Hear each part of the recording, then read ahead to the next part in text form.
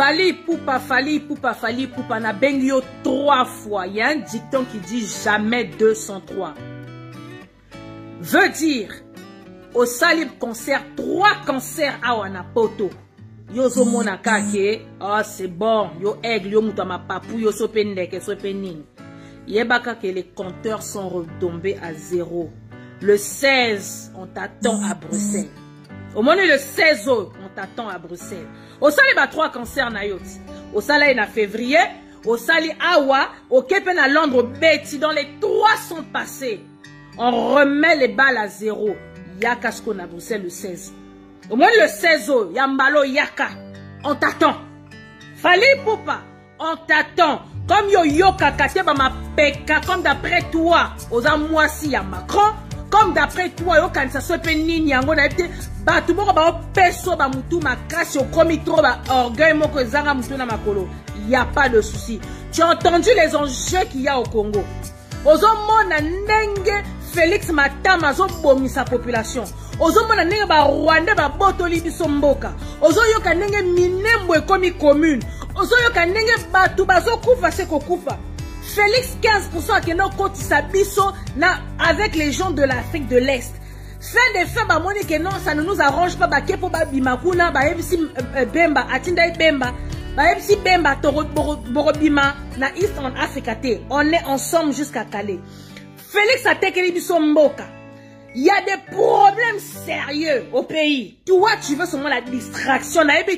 orgueil oyo confiance oyo okomi nango problème eza te jamais 203 et 3 tu viens de les faire tolakaki yo ya kobeta le 16 na bruxelles yaka comme okoma mona biso kaka bamarionnette e eh, bato bazokumisa fali aigle fali boye fali boye ya kobeta cette fois-ci tse quoi on a remis les compteurs à zéro reviens le 16 samedi nous t'attendons à bruxelles on t'attend à bruxelles ok on t'attend à bruxelles Oh non, son peuple congolais ezalaki mpo na bino Maserati Kimpavita. Peuple congolais de partout où vous êtes, muta bangisa muninga te. On se retrouve tous le 16 à Bruxelles pour le concert de Fali Ipupa. Mpo na ye alobi asukisi tembe. Tembe plus tembe est égal à nko. Biso mpe tokolakisa ye kinko wana. Fali ya kobeta le 16. omoni bamapapu wana etutusala ematisi mpo na yo okomi donc tu es le sommet le haut sommet alors que ba au sommet kutu bakweya bakufa mais toi mpo na yo donc c'est-à-dire que c'est toi le, le, le, donc le king de chez king yaka on t'attend le 16 peuple congolais tous à bruxelles ce 16 ce samedi 16 ingeta bayaya bambuta ingeta biso yeyo toye lisusu devant bino mpo na kosenga na bino boya le 16 Le 16 décembre devant Atomium na Atomium na U Arena place bato misusu balingi koya kobina kaka kobina pendant que na Congo bato bazokufa pendant que na Congo bazo kozwa biso kaka ba mabele avant hier bazwaki biso muchake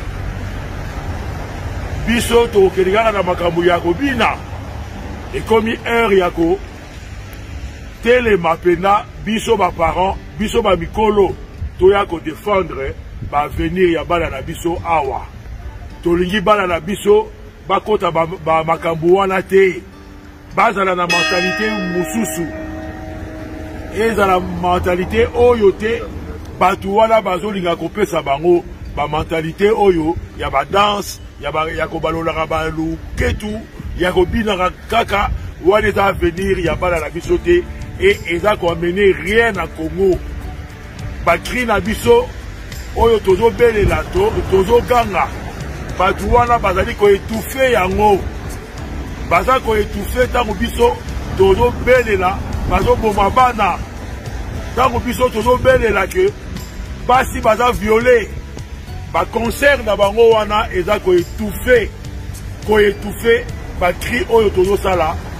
mpo na baninga oyo bazomona mpasi le 16 tokozala wana a partir ya, ya 18 heures 18 heures devant you arena tosengi site tosengi sitting sitting na liboso wana donc eza ing arena soki you arena donc eza kaka babiloko wana donc tokozala wana Sitting ezali autorise, tokozala wana a partir ya 18 heures toya topekisa bana na biso bakota babiloko wana ingeta ingeta, ingeta.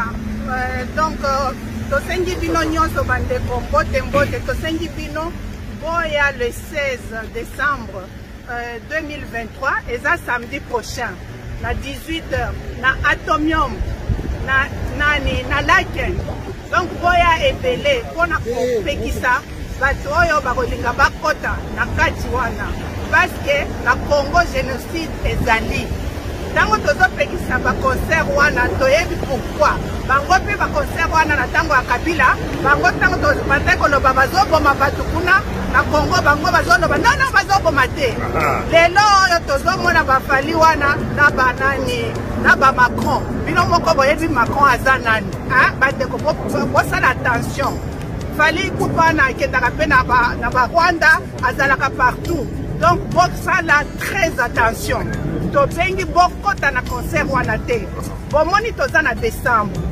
awa na poto mpasi ezali mpe bazoya mpo na kozwa ekonomi na biso moke oyo bazwa bakende na yango basala bafete na bango na makambo na bango me biso moko awa toza eza difficile mpo na kolia mpo na komela mpo na kosomba bakado ya famille bango bazoya bazuwa bakende basepela biso to moke oyo toza nango 45 euro ya entrée lelo oyo le 16 et puis le 25 eza noel biso tokosala ndenge nini mpo na kosomba bakado ya famille ya bana bokota te bajeune bokota te sombela mama na yo sapatu sombela mama na yo liputa 45 euro wana kokota te na bino na bino na baoyo basomba batike wana pasola yango kokufa te puiske awa na, na, na belgique ata oza belge soki banani eh, jour oyo babelge bakoloba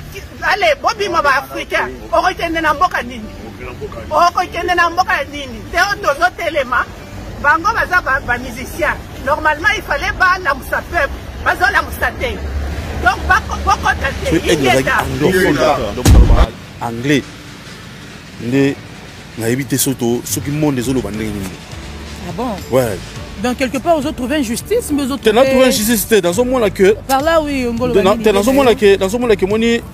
Euh, azaka azaka bon nakobenga yango moins de chance te parce que nzambe moto asala desta bato aseretrouva congolais ndenge nini baskize nga mais mabe eza wapi te non parce que ah. bagrandeur ya makambo oyo chez biso omona type moko boye omona garçon moko boye mwana moko boye eloko moko boye excuse moi le terme aobanalize na yango hmm. epi mikolo baotala ye batiki ye kende yango ya bongo mais ntango nalobaka de wendo ti lelo bato ebele bafinga ngai ngai naloba asuti hmm. bato bango moko baopesana baraison ekomi eza bon biso toyaki mpena po tomarke histoire kani babe na début cestadire koma slogan ya batutu hmm. slogan ya batutu de wendo ti lelo parce que meme yo mpe omona bakotyelo de wendo na omobe na likambo lo moko boye en fait tobeta polo en 2019 tobeta eh, bercy e ezali accord hotel eh, arena tobeti paris la défense arena tobeti ovo wembley arena epuis tokebeta eh, ing arena mare na londres a baangleterre eza mboka moko pa lokola baparis boye nde tolaka hmm. bana baambiance nde biso osaka na paris te epuis batuna bato to babeta na londres faire un concert un vendredi na angleterre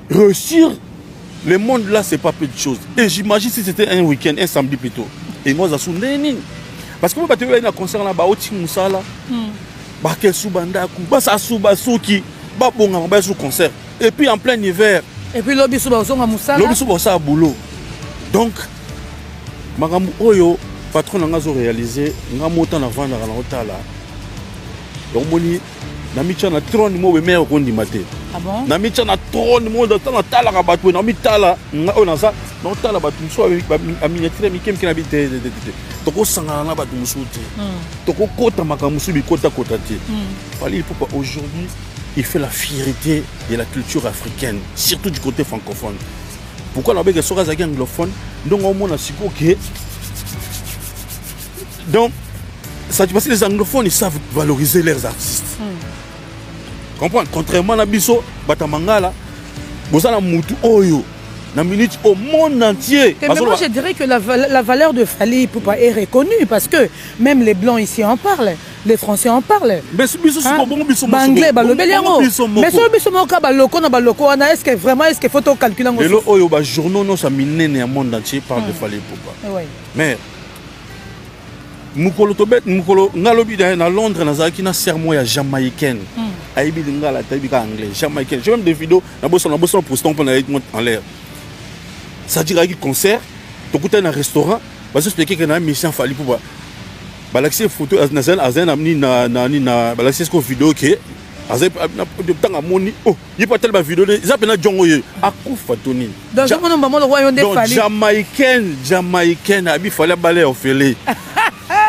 na biso te aza maria la abala jamaïcaine mare hmm. jamaïcaine fanatique afali hmm. c'est-à-dire lelo Na concert à Fally, beaucoup de 7 personnes beaucoup ba langue différente. Si si. Si si. Ah. Mais oui, tout le monde a tout le monde a qui en tout le monde a qui en a parlé la défense. Ah, Donc ba tout sous oui ba ba langue mo bo comprendre. Moi ma kambo zo sama lelo. Moi ma kambo sama lelo oyo. Eza bien ya koboya. Eza bien au critiquer. mais problème yango ya monene kosala ata ata katikati na yango to likolo na yango nde problème nde problème hmm. kutia mpo amopatron fali mpopa oyaka na mokili oyo te mpo olanda bato oyaka na mokili mpo osala makambo bato balanda aigle place ozali vision toujours liboso patron na ngai je connais ta force nayebi énergie na yo nayebi eh, eh, eh, grandeur d'esprit ozalaka nango donc biso ba petit na yo oyo nga nabaki de wendo ti lelo naloba ngo na ntina na finga bato babi nazalaki mal compris pour certaines personnes na comprena nayebaki naza mpe artiste te esi nakozalaka fan na moninga artiste ndenge wana te ifo ozala na motu ocomprendre makambo nde ezokendele donc lelo touti na apollo tokebeta arena na en un mois osala trois arena Hein? En un mois, nga na tout sona massa mona pese mbote parfait. Abi mon frère, je suis dans l'histoire, je dois faire les trilogies. Na pese mbote na Brian Panzo. Mm. Tozali na Londres, Brian Panzo na pese mbote. Azaki na ah, na, na, na, na France, akechi na Londres, okay. aoyachi na Belgique.